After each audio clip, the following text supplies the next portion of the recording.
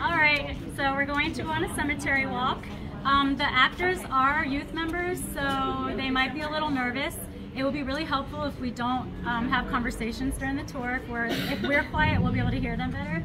And just follow me, the lantern, and we're going to make some stops. And this tour is going to help you focus on the last things purgatory, hell, heaven, your judgment. And hopefully, when you leave, you'll have something to think about.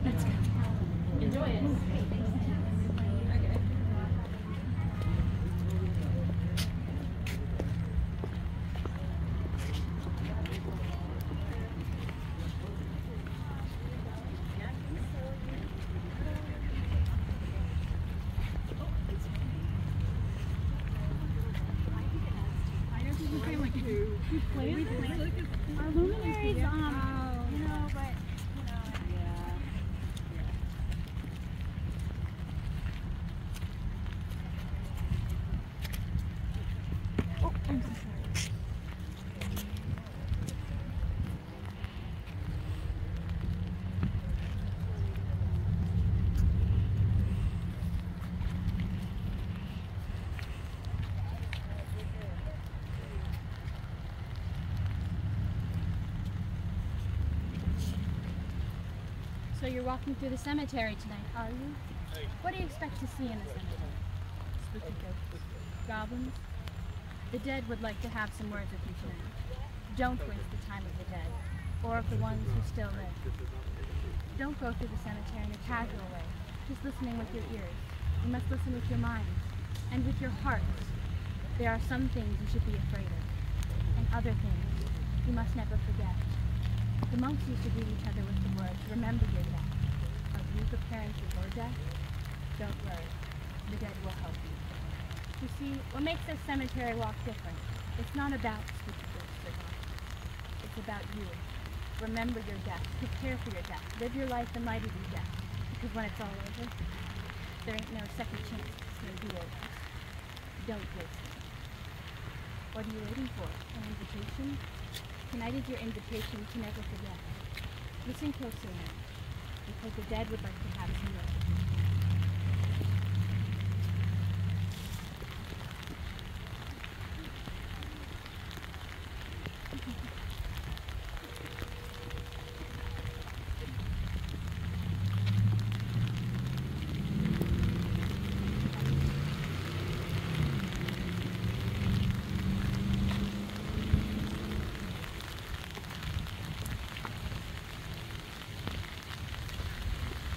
I saw it.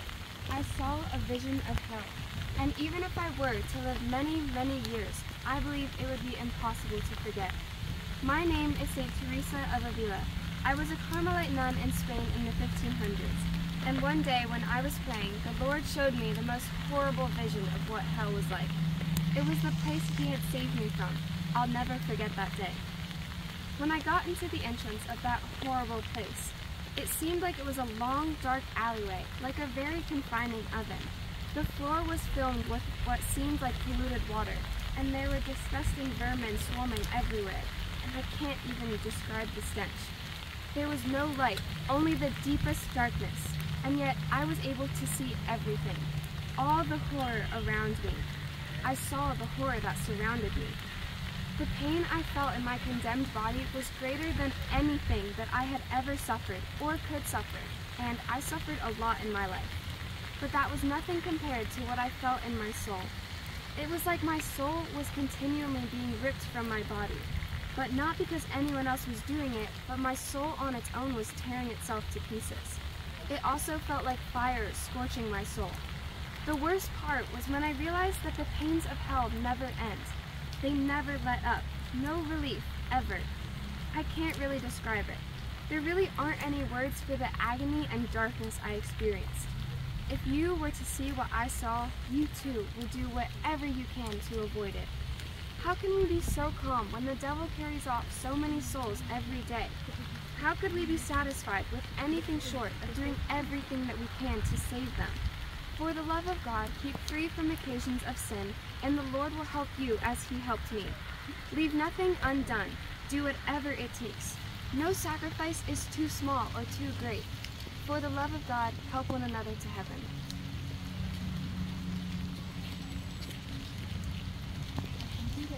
Purgatory, um, for attending this event. I just want to make that known.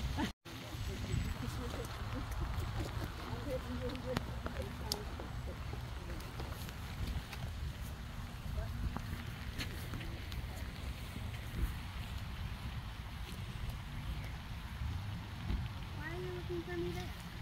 Do not be afraid. My soul is no longer there. What you see before you is only my body, and even that will be raised on the last day. My name is Saint Cecilia, and I was one of the early Christian martyrs, one of the witnesses for Jesus. I often go to the catacombs to bury the bodies of the martyrs. This was forbidden by Roman law, therefore we were called lawbreakers. They arrested me because of my faith, but they couldn't scare me into worshiping their gods. There's only one true God. Didn't matter if they threatened me with torture or death. There's only one who has control over death and new life. A judge ordered that I be killed by the sword, but even after three blows, I continued to live. They left me to bleed to death over the next few days. As I lay dying, I directed my face towards the pool so I could commune with my God in secret. During my martyrdom, it wasn't fear that I experienced, but love. And now I live forever in the presence of love himself. You may not be called to be a martyr like me. I don't know. But we are all called to be witnesses for him. And it won't always be easy. But this life is temporary and passing. We weren't made for this life only. We were made for eternity. Make your decisions in light of eternity. Live your life in light of eternity.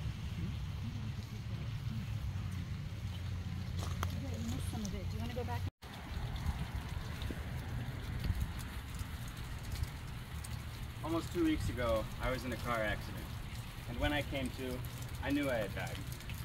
All of a sudden, I was brought before the presence of God, but I knew I didn't belong there yet. Not because God wasn't ready for me, because my soul wasn't ready for Him. I see now all the choices I made for and against His goodness. I tried to be a good Christian, but I was basically just a good person. But now I see everything every part of me that I held back from God. Why did I put other things before Him and my family? Was I really that busy that I couldn't make time to pray? Why did I think I had to live life alone as though He wasn't by my side at every moment? I've never experienced more joy than I do now, and yet more pain. It's hard to even imagine what my sins did to my soul and how they kept me from the one that I love and the one who loves me. Every moment that passes is a moment closer to seeing the light of his face. Listen to me, and don't forget these words, for they aren't mine. St. Paul reminded us that at the end of our life, our lives will be revealed before the tribunal of Christ.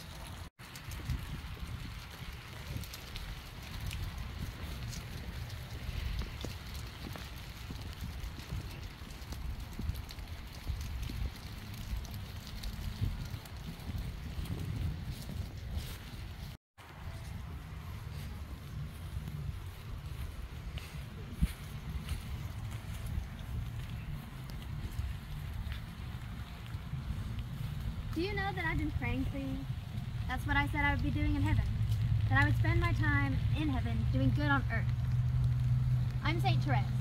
I only lived to be 24 years old, and I never did anything big, just small things with great love.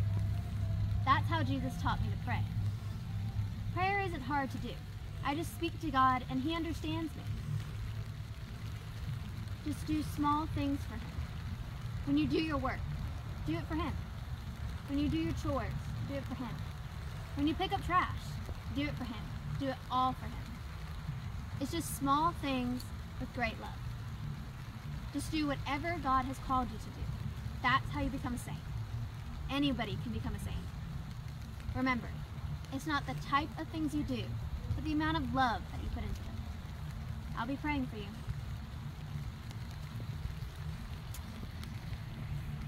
Why? Why would you go to church on Saturday? What makes you a Catholic? Believing God makes you Catholic? How many churches are there? One church. And how do you know this? Because as I see, there are many churches, many faiths, many religions in general. And how do you know the true one? How can anyone know? Do you wager this with your life? What is the point of your existence otherwise? You know?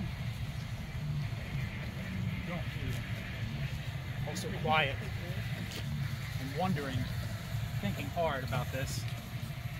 Because there's no guarantee that anything you believe is right, is there? All these folks here, where are they now? Uh, some of them are friends of mine, actually. Not just here, but everywhere. Throughout all the land and throughout all the time, I have many friends. I have friends with me. But you trust your faith, don't you? Yes. You trust that this one church will set you free, right? Ah, I see. I see. Well, there are better things, I tell you. You can have fun, enjoy yourself, you can be with me, you can have a good time every day. This whole idea of sin, quite nonsense when you think of it, isn't it? It's fun. Why does fun have to be a sin? How can we enjoy ourselves? No? I call on you to join me. And join the many with me. You think of it, and I'll see you all around sooner than you know.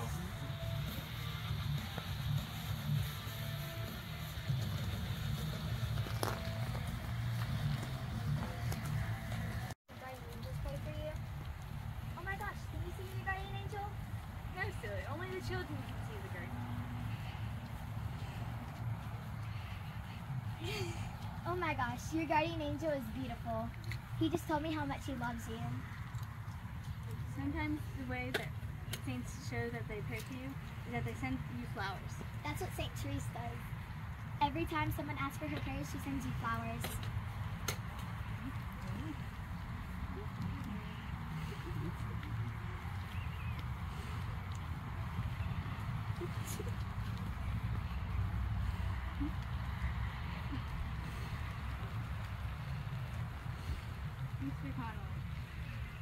You're going to love heaven. Goodbye. Goodbye, we'll pray for you. Thank you.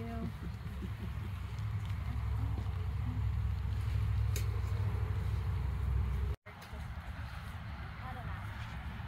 It's parents.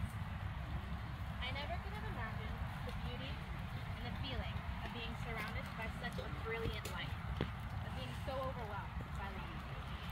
All I could think was, could this Have I finally arrived? And then I heard him say my name. He called me by name. I'll never forget seeing the beauty of his face. It was dazzling, brilliant. And how could I ever describe the way he looked at me with so much love and welcomed me with love? As I looked around, I saw the oceans of people everywhere. Millions upon millions gathered for the celebration. It was beautiful. Really, there was only one way to describe it to you, only one way to explain. Your eyes have not seen, your ears have not heard, nor has it dawned upon any of you of what God has planned for those who love Him. You are home. You know you're home. I'll be waiting for you.